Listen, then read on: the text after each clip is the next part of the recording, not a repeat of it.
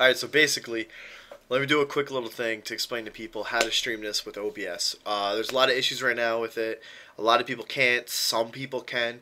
The only way you can stream it is in monitor capture, but you have to go to the files and fuck around with shit. Basically, you go to play, to the game opens up, go to little cog. Yeah.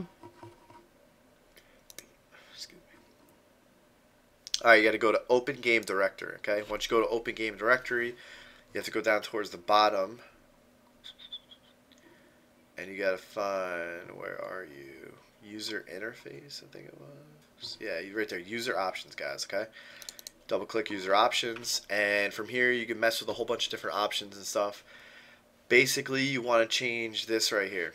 Your mode has to be windowed full screen, so you have to add windowed in there and then below it full screen mode equals you have to put windowed in okay that's how you fix it windowed full screen and equals windowed once you do that you'll save it so on so on and then you could stream the game in User monitor joined your capture channel. Yo, hello guys. that's it guys That's how you do it. Here. i hope that helped out a Yes, little bit Joined your channel.